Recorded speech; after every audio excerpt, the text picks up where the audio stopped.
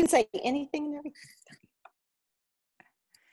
Hey there, welcome to the Compare To podcast. I'm Heather Creekmore, and I'm really glad that you are watching or listening today because today my friend Ronne is on our show. Let me tell you just a little bit about her.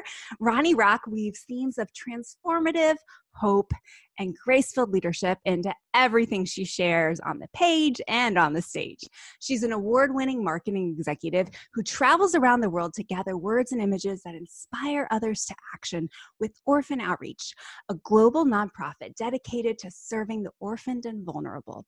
Ronne offers battle tested wisdom about leadership, advocacy marketing, and finding God in the most beautiful and painful of circumstances. She and her husband live in the Texas Hill Country, just right down the street from me. And that's why I am glad to introduce you today to my friend Ronne Rock. Ronne, thanks for being on the show. I am so glad to be here. I am so glad to see your face and to hear your voice. And if we were just sitting at the table with each other, it'd be perfect. And soon, we'll get to soon. do that soon. Yes. Soon. Yes, I hope soon. These masks, they're driving me crazy too. But uh, you know what? Political I by that. Just, I have just, I have, I have realized. I well, first of all, I have a really good variety of masks now. Mm-hmm. So I feel like they they're color coordinated because I always love a pop of color. But I've also realized I if I call if I think of them as a blanket fort, Mm. and I just become a kid like in a blanket fort, mm. then all of a sudden, I don't know, the edge is, is taken off. And then like I'm walking around with my little blanket fort on and I can look around and see everything, but nobody really knows what's going on inside. so very nice. Yeah. There you go. I mean, I figure it's saving me on lipstick. like at some level i'm not having st- to wear lipstick as much i still put on i still put on lipstick it's a thing. and it just sticks to thing. the inside of your mask then? It does. it does have like little lip prints on every mm-hmm. mask. And, but fun. I know inside in my blanket fort, I'm mm-hmm. stunning. There you go. well, today Ronne and I are going to talk about her new book. And that's your little teaser. It's called One Woman Can Change the World. And we're going to get there. But before we do, Ronne, would you just tell us a little bit more about you. Who who is Ronne Rock? I don't know. When you read my bio, I'm like, I need to get to know that woman. right? It's a it's a strange thing when uh-huh. other people say things about you. You go, oh, she's kind of cool, and then you're like, oh, wait, that's me. No, she's not. She's not cool. Um, gosh, let's see. Well, first and foremost, this is an important thing. I am a woman, uh, even though my name is Ronne. And I have gotten plenty of friends in trouble over the years when they say, I'm going to go hang out with Ronne or I'm going to go spend the weekend with Ronne. And then they're like, Who's Ronne? no, no, no, it's Ronne. It's Ronne. And it is short for Veronica. So I'm a woman. I am. Uh, I'm a daughter. I'm a sister. I am. I am an orphan. Both my parents have passed away, and um, gosh, that even factors into a little bit into my book mm-hmm. and into some future things that I'm writing. Um, let's see, I'm, I'm married. I am a mom. I am a Gigi to the two two coolest grandkids, which I know every grandparent says are the best, but I do have it on good authority that mine are pretty stellar. Uh, and I am a trusted lab to Pearl, the very sassy rescue pup. Mm. Yeah. What and, kind of, uh, do you know what kind Pearl is or what's her, her well, mix? She, uh, we got her out of foster care and we know that her mom was a schnauzer. Okay. But unfortunately, we don't know the, the, the dark, troubled story behind mm. how Pearl came to be. I personally want to get a DNA t- test done because I want to know what's in there, and my husband laughs at me. Uh-huh. but, but my uh, my son and his wife just got their DNA test done on the dog that they thought was a golden doodle, only to find out that Dax has no doodle in there. huh. No, and no golden. He's he's neither. He's everything. He is everything but what they thought he was. You know, so now that, I'm curious. Now I yeah. want to know what Pearl is. Yeah. That's so funny. I have friends here in Austin that got a golden doodle, which was actually a golden border collie or something like that. you know, but at the end of the day, really what you what you want a dog for is just because they love you all the time yeah. and get excited even when you go out to the mailbox. They're just mm-hmm. so happy to see you and they ask no questions, mm-hmm. which during this whole time, this weird season that we're in, I, I it's okay. It is okay. just have somebody who just loves you unconditionally mm-hmm. and will Absolutely. chase you around. Yeah. Absolutely. Yep. I'm just hoping that my little bucket of unconditional love doesn't keep clawing at the door behind me like she was a minute ago. so we'll we'll see if we can make it through without that happening. Uh, they're well, needy little buckets. Well, Ronne, you're yeah. on the Compared to Who show, so we talk about comparison here. Mm. So tell me, the million dollar question is: Have you ever struggled with comparison? when you told me you were going to ask me that question, I did you know, there's the whole lol thing, which for whatever reason I think laugh out loud and I automatically hear LOL and I'm like, uh-huh. lol. I don't know. but I I'm literally actively, legitimately laughed out loud because comparison is it is it is built into the wiring of mm. us. And I think especially women. Mm especially women living in cultures like ours in the mm. US. I will say that the, many of the women that are in the book are in cultures where comparison finds itself in other ways as opposed to um, just the beast of comparison that we have in the US. Mm-hmm. Um, the comparison of there's always, right? I'm either too young or too old. I don't live in the right city. I don't have the right shade of skin. I don't have the right amount of education. If we're single, we think that there's a, def- a default in it or some sort of defect because we think that no one wants us. If we're married, we start to think about, oh, but things would have been so easier when we're always our eyes are always so easily diverted mm-hmm. to anything that might uh, disqualify us mm.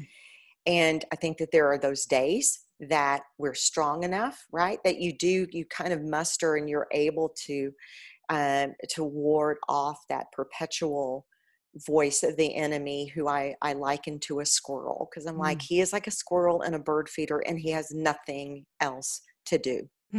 bird feed is not his he has no right he's not a mm-hmm. bird mm-hmm. but he is going to try every day to steal the bird feed mm. and he has because he has nothing else to do mm-hmm. and so that constant accusation of you are just a little too little too much too mm-hmm. old too whatever it hits us and there are days that you are able right to like hold up the shield and the gauntlet and say, mm. Not today, thank you, I'm fine. And then there are other days that it's just you're weary or you're tired or you have anything could mm. cause it, right? And um, and then it's easy to lean in and go, Yeah, you know, you might be right. Mm. And so, have I ever struggled with it? Absolutely. Um, gosh, even in launching this book, mm. during this season, if anybody would have said, Ronne, make your sweet list of all the cool things you want to have happen when you launch a book into the world, a book that a publisher has invested mm. in. It's not just you. A lot of people are cheering for this book. What do you want to have on that list of all the cool things that could happen? A global pandemic with a cultural pandemonium would not have even made the list. and so even that and it was very easy to look around and go well god if it just launched a week later if it mm. launched three months earlier or if only the people who had influence would pay attention to me versus paying attention to the issues that are surrounding our country there's so many mm. feelings where you can say i just clearly i'm not qualified to do this I am not qualified to have a voice to do mm-hmm. ministry, to parent well, to do my job well. So many things can get us. It's happening right now, I know, in homes around the country as parents try to make sense of what you do with school. Mm-hmm. And everybody has an opinion and everybody is questioning, and it's very easy for a parent who doesn't have one option that another parent has to sit and start looking and saying, well, clearly I'm going to fail because I've never homeschooled before. Mm. Well, clearly I'm going to fail because um, my school system doesn't offer the same things. And those indictments against us, man, they mm. stack up quickly. But and, and again, they're in every way. And the thing is, nothing is new under the sun. Mm-hmm. They were there in Eden. Mm-hmm. That temptation, I don't think, and I talk about it in my book, that I don't think that sin just burst onto the hmm. scene as soon as Eve took whatever fruit it was mm-hmm. and took a big bite. I mm-hmm. don't think, I think that sin was given birth. That thing that says, and it's not just doing bad, right? It's also the things that we don't do as well as the things that we do. But it really is setting our sights on anything but trusting God. Yeah. And that was, I think that that was that birth that was given its seeds for growth as soon as they started looking outside the borders of mm-hmm. eden and going hmm, maybe we don't have all that we need. Maybe mm-hmm. there is more, mm-hmm. right? And yeah. um, but we we do that, and in doing that, we deny our own identity. Mm-hmm. And I wish I could tell you. I wish I could tell you that this book that you're going to read has all the simple answers in it. it's a three te- three step solution, and you just got to, you know, I don't know. do These these two things that you do every day and uh. you're going to be solved it's going to be solved but i'm honest in that book. I still i still it's a part of my life. Do i struggle with it? Yeah there are some days i struggle with it. Other days is it a nuisance? Absolutely. Am i cognizant of it? You better believe it. And yeah. do i think that it'll exist probably until i breathe my last? Yeah. Yeah. Yeah yeah, yeah absolutely. But, yeah, it was interesting that you had the Adam and Eve story in your book as well, because I, my my new book, The Burden of Better, I I mentioned that as well. Just mm-hmm. that Adam and Eve had everything, mm-hmm. everything, and they still thought it could be a little better. Like, just a tiny bit better. better. Yeah. They, I mean, come on, they had they actually had this world that was created for them, mm-hmm. right? And right. God, eh, being as brilliant and creative as He is, He designed everything in this incredible way that does marry science. If you ever want to look at the earth, check out the order in which it's written in Genesis. Brilliant stuff. And it gets it all ready so that humanity can live on it. Gets it all together so humanity can live on it.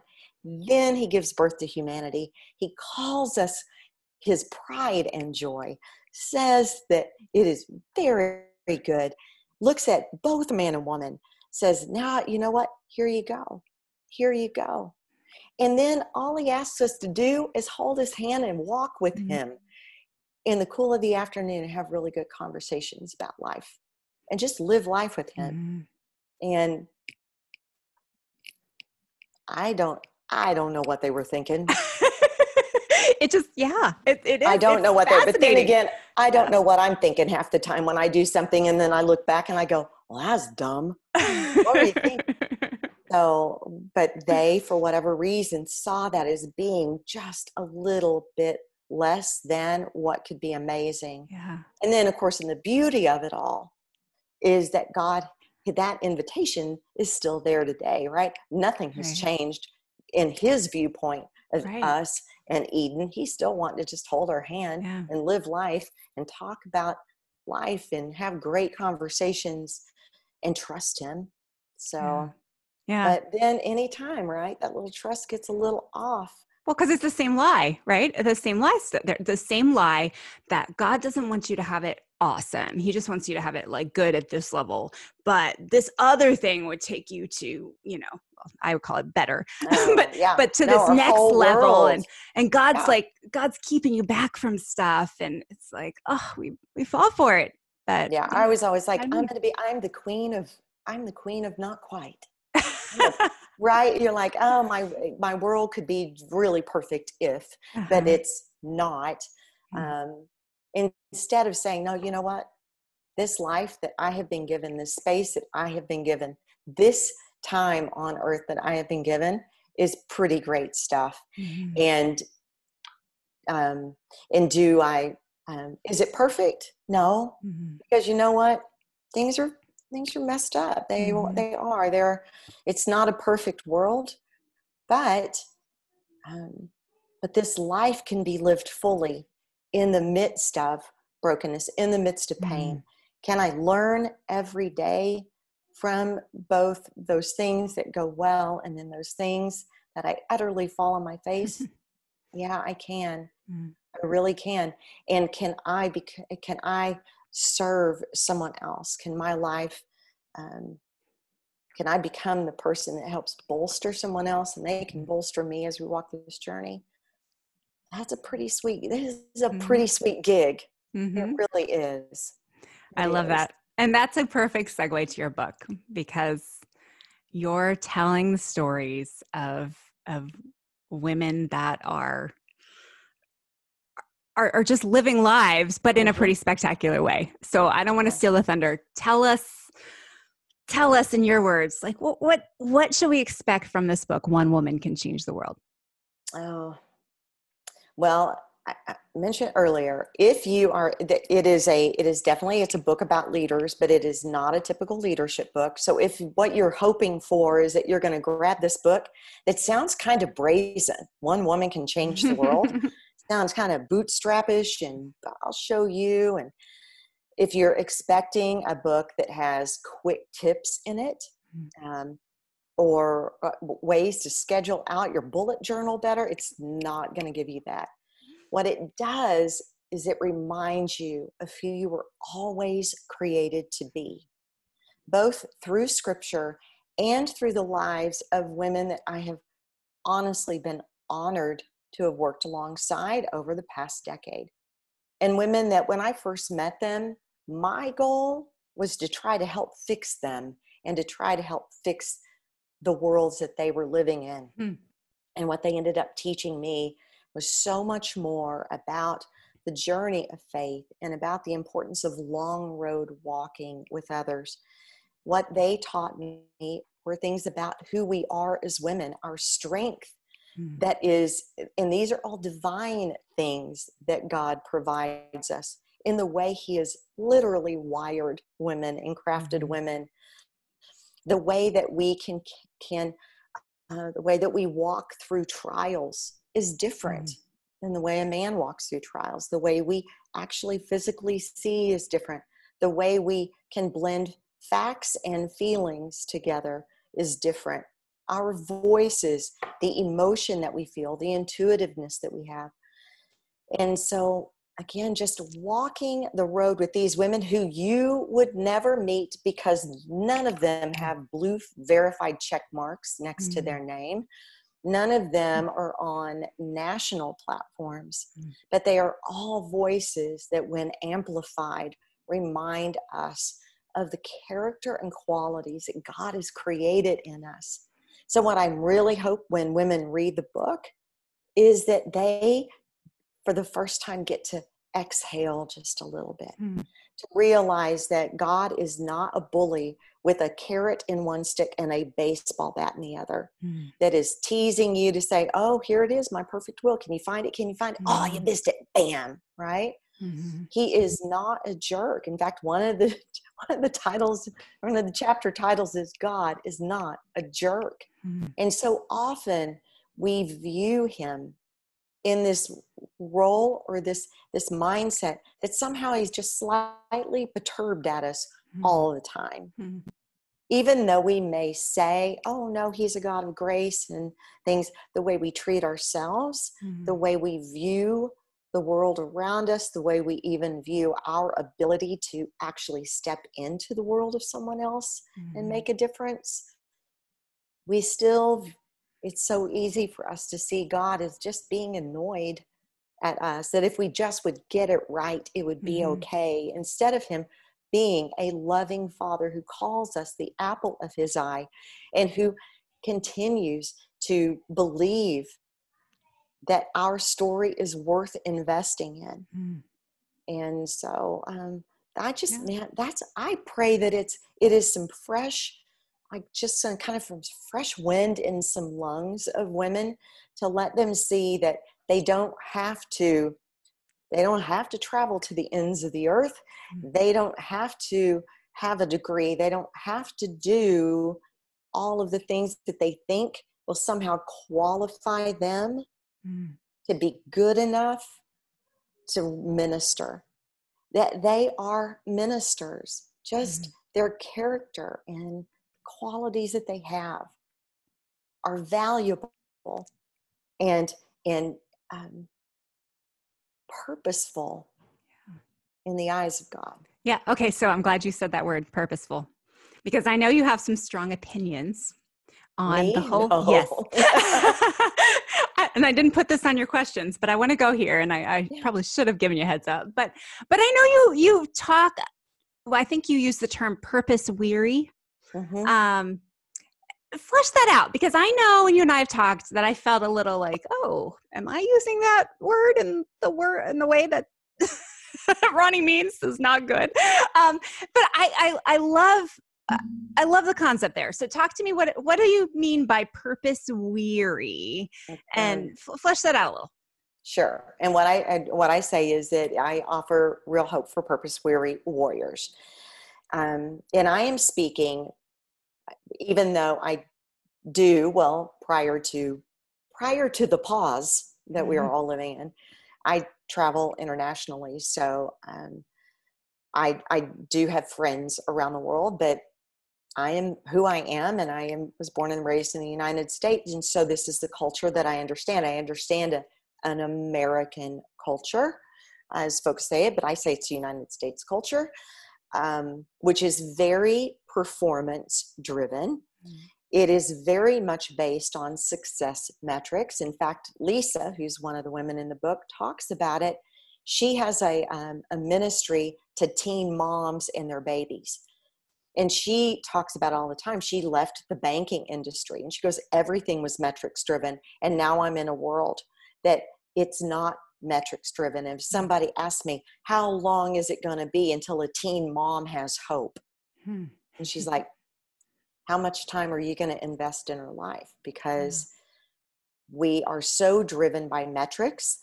If you think about it um, in church culture we're like oh fastest growing biggest Mhm. new, uh, we love those big explosive just in your face bigger better brighter bolder Mm. adjectives and so in our world then we start thinking unless my purpose is bigger better brighter bolder i have to figure out what that purpose is and i've got it and then I have to know what God's purpose is for my life.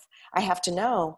And we treat it as if it is like the center ring of a target Mm. and that we've got to hit it with laser accuracy. And if we don't, then we're forever going to be kind of limping along, Mm. just thinking that, well, I was. I, I was trying to be in God's perfect will, but somehow I only made it to his permissive will, which just, that's not in scripture. But we use it a whole lot Mhm. of the I've got to be in God's perfect will, as if somehow if we're in His perfect will, everything is going to go swimmingly Mm. and everything is going to grow exponentially, and we're going to have some really cool metrics to show Mhm. for it, and it is exhausting Mhm. because we find out really quickly that there is no three-step solution to the relationship, our relationship with God and there is no three step plan to true transformational leadership Mhm. because it's not transactional it is a relational thing Mhm. and so what i hope is to remind everybody that god's purpose is not a tiny dot on a bullseye he does his purpose is not for you to have the one job or live in only the one place Mhm. and do only the one thing. All of you who are watching or listening, I guarantee you, you're doing more than one thing, Mhm. right? And so we just get panicked because we're thinking, oh, I'm supposed to do the one thing to the exclusion of the other things. But what is mm-hmm. the one thing? Yeah. And then we find out that no, God's his it's bigger than that. He promises that he sets our feet on a broad mm-hmm. place. He is a creative God. He mm-hmm. created the he spoke stars. And then he created us in his image and likeness. So I have a feeling that he actually designed us to be creative and to do, be able Mhm. to do more than one thing. Yeah. And to be able to walk through seasons of life and watch how He is additive in Mm-hmm. our stories and He doesn't waste a piece of our past on our present and He's not going to waste this season, even this weird season where we're Mhm. all still trying to figure out what normal even looks like. Mm. I promise you, this season where nothing feels like it's gone according to plan, He is not wasting it. It Yeah. will not be squandered. He is a useful God. He's a pretty practical God, Mhm. and He will take this to continue your journey. yeah. And so when I talk about purpose weary, it is not because I don't like the word purpose. I think I love the word purpose. I worry that we set it up as being that there has to be this purpose in our life. And the only way to judge if we are really living Mm. that purpose is by the success that we Mm. see instead of by seeing the transformation that happens over Mhm. time. Yeah, amen. Yeah. No, that's great. That's really good. And I'm I totally agree with everything. I mean, especially I'm glad you I'm glad you mentioned seasons because I feel like that is so important important, especially like for those of you that are listening or watching that have young kids at home Mhm. and you're like uh okay i know that motherhood is part of my purpose but you know maybe this was my cry like oh god is this all there is like am i ever gonna get past sippy cups and body training and all the things you know and Yeah. and recognizing that i mean it's you know it, it is it is beautiful maybe more so in retrospect than when you're going Yeah. through it how god does weave together those threads from those seasons so one other thing i thought of and i share this with friends who are discontent in their careers all the time but my um, i worked on capitol hill and the, my least favorite part of my job was doing the bookkeeping i am horrible with That's math and numbers and that is not my thing but they added it to my job and i was like oh. Well you know the next job i applied for which was my dream job the only reason i was qualified for it was because i had that experience Mhm. in doing that bookkeeping it, when it, again it was a small part of that second job but that was what set me apart from the other candidates and i just Mhm. remember at that time stopping and thinking like thank you god like that that part of my journey that i was like i can't believe i've got a job where i have to do this it was like that you know god knew what he was doing and and how you know it just he does weave the tapestry of of our He- lives in a beautiful way He does. And he, again, he just doesn't squander things. And there are folks that are like, no, my job right now is this, and this is all I can focus on.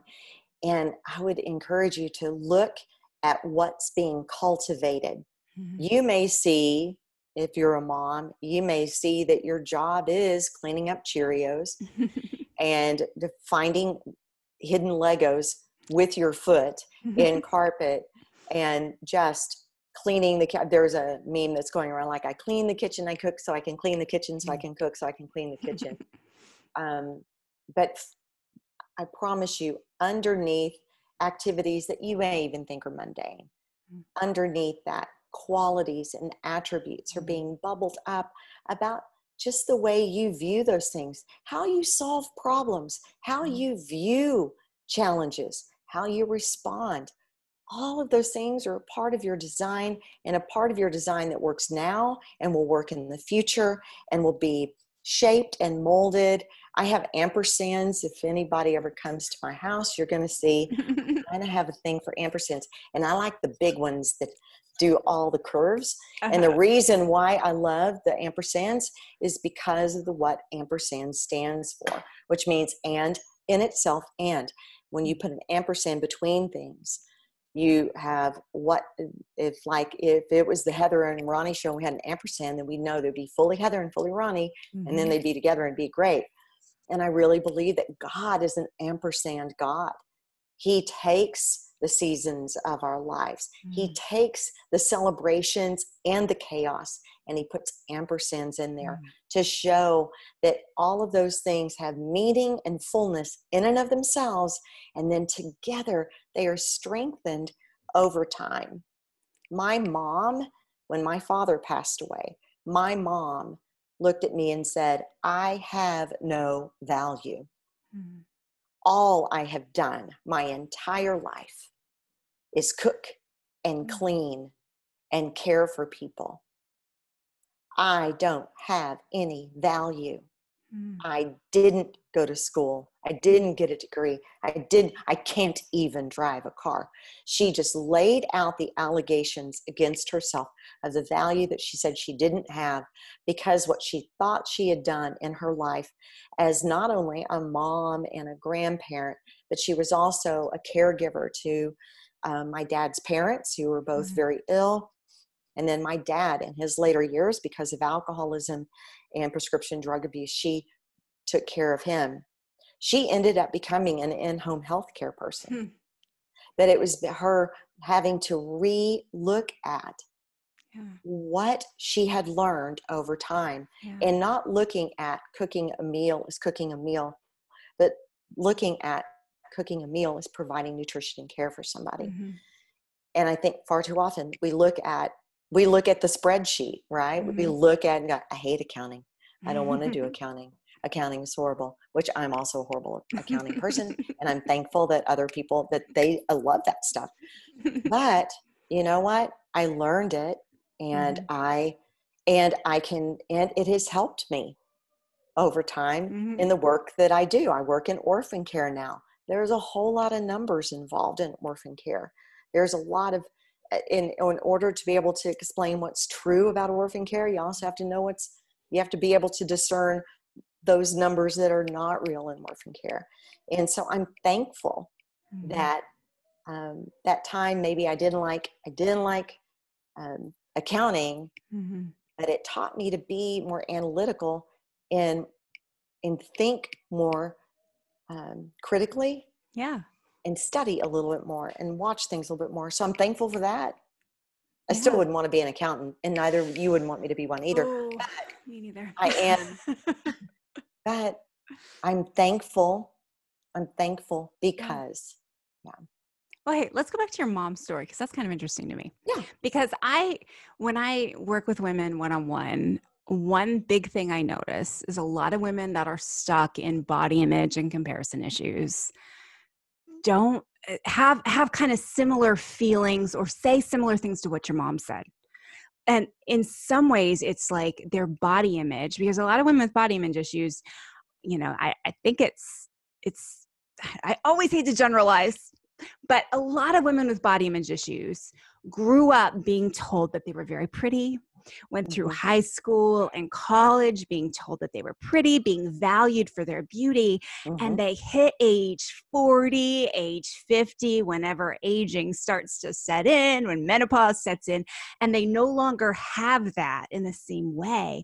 And they stop and they say similar things to me, like your mom said, like, I don't have any value.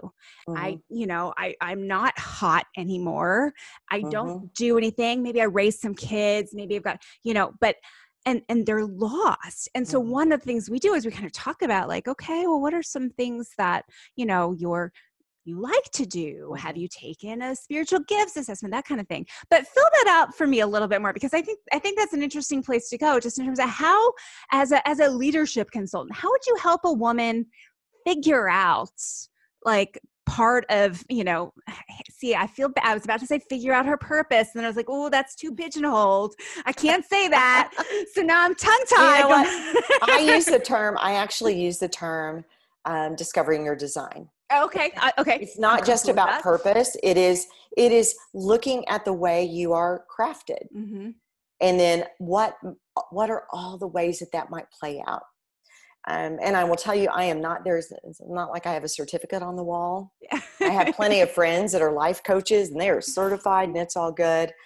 Um, but because through being in leadership roles, through walking the road, the long road, and then um, providing coaching for up and coming um, folks, there are some things that I have learned over time, questions that I've had to ask myself. So I don't ask anybody to do anything that I haven't Mhm. asked uh, myself to do or have gone through it. I think one of the things that you just shared is a great thing. Um, I am an assessment junkie. Mhm. I really am, and and it's not because I'm trying to find some deep dark secret. In fact, on my website, you can find it's 15 questions that you can ask yourself to help to help un- uncover your design. And I laugh. I have some women that are doing it right now, and I go, I'm gonna, I'm just gonna. Spoiler alert! Right now, it's not like a BuzzFeed quiz where it's going to come back and tell you that you're a rainbow pig. It isn't. There's no color associated with it or anything. They're thought starter questions mm-hmm. for you mm-hmm. really to spend some good time in conversation with the Lord and with yourself. And so, assessments like a spiritual gifts assessment mm-hmm. is a beautiful thing to do. And to do it not in light of the job that you may have mm. or the role that you may have, but just that gut level response uh, of how you feel. Are you, you know, how do you respond when there's pain around you? What is your natural inclination when you see a problem? So I encourage, and one I make a big old long list, and I even have, which I can send to you, and you can add. I did an entire article for a, a digital magazine for 20 something leaders. Like, here are 12 different assessments that you can take that are great. Some that you've heard of, some that you've not. And it's everything from career assessments to MAP, which aligns the way you process and think and your natural talents with the best kind of job that you might have. It does have um, it does have a, a, real thorough spiritual gifts assessment um, quiz that's or assessment that's included. Enneagrams in there, Myers Briggs is included, Strengths Finders, they're all in there. And it's not that those things are going to give you the absolute answers, but what they do help you do is and just learn a little bit more about your personality or the way how you view problems. So I think that is that's one way. Getting pigeonholed in that and labeling yourself to say, "Hi, I'm Ronne, the four wing three tritype 479," is not the way to go. I'm Ronne, and the enneagrams in there, all the stuff is in there. But to, to, if you label yourself or box yourself that's not healthy but it does help you get to know yourself a little sure. bit better. And then asking yourself questions about dreams that you had as a child that still mm-hmm. kind of bubble up. Who do you actually like to be around? Who gives you energy? Who drains you? What kind of circumstances give you energy and what drain you? Where is your attention naturally drawn? Some of them are just really basic questions just to help you understand. Go, oh, you know what? That is right. Mm. I really do. I always, when I look at this challenge, I am always compelled to mm. fill in the blank. Those things may not tell you that you're going to be the best accountant in the world. there are those assessments to do that. But what um, the questions do is help you say, oh, you know what? I'm more wired.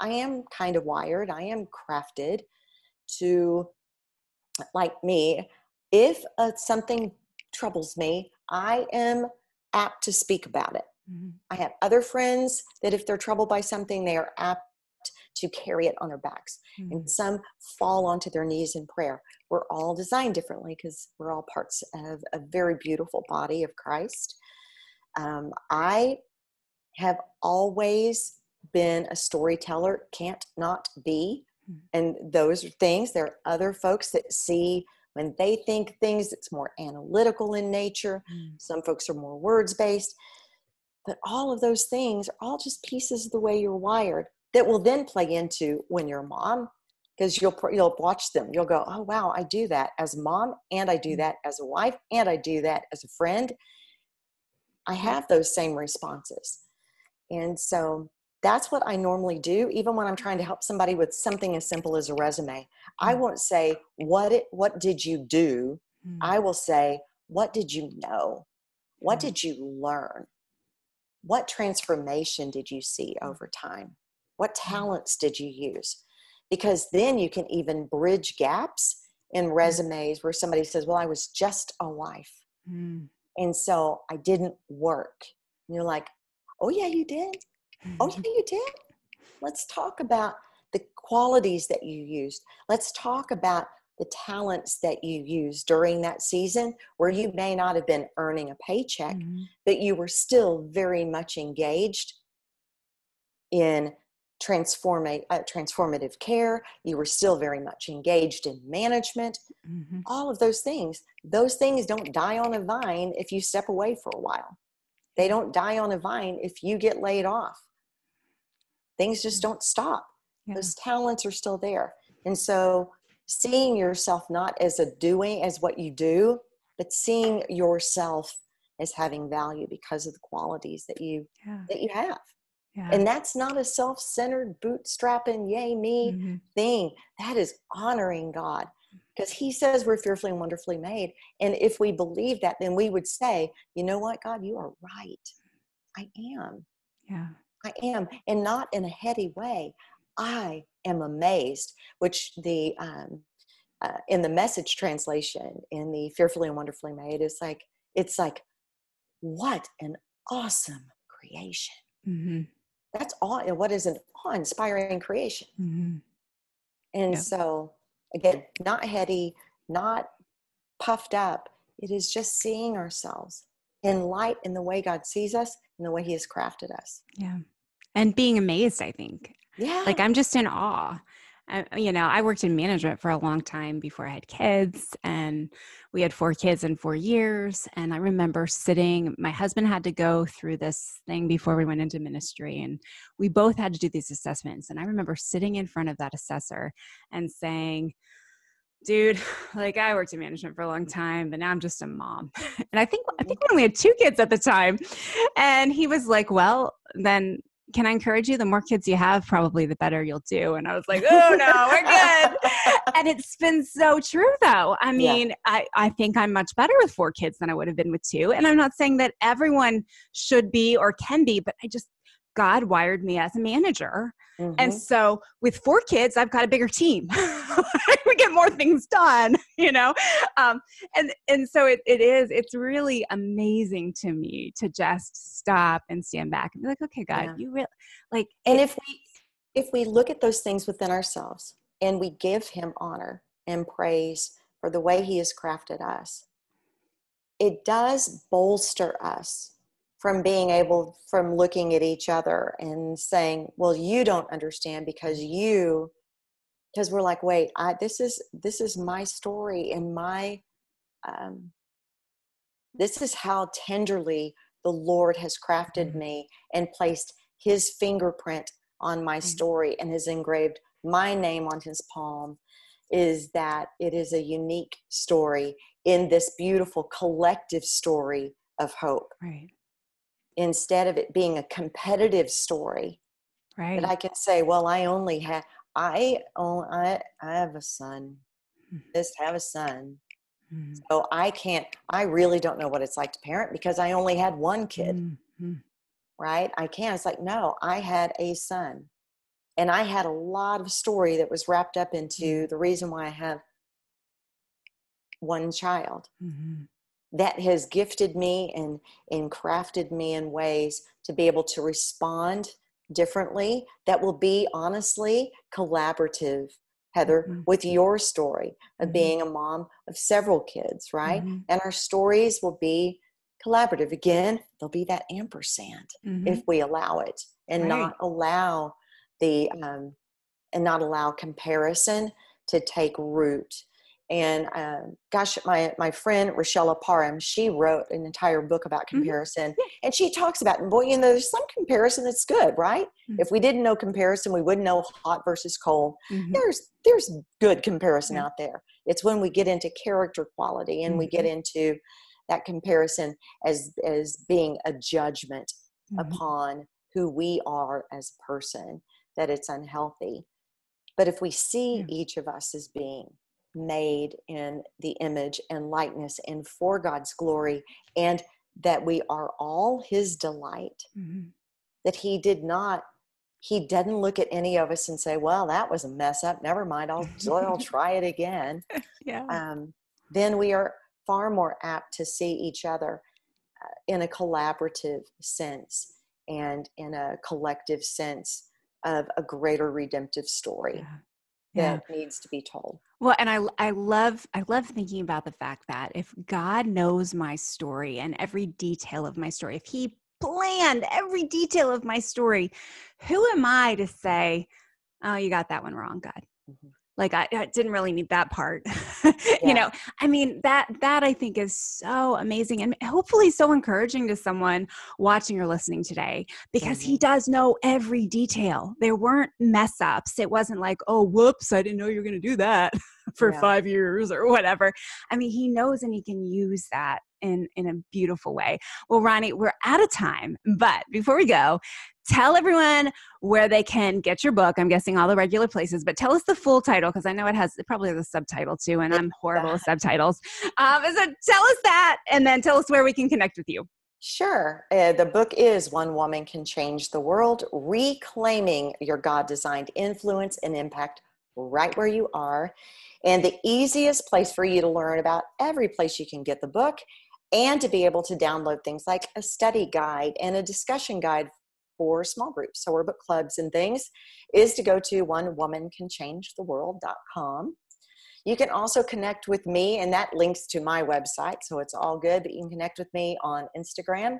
It's Ronne Rock, and it is R O N N E R O C K, or on Facebook at Ronne Rock Writes. Great. And I'll put those links in the show notes. So if you're driving, don't worry about writing anything down. no, do not.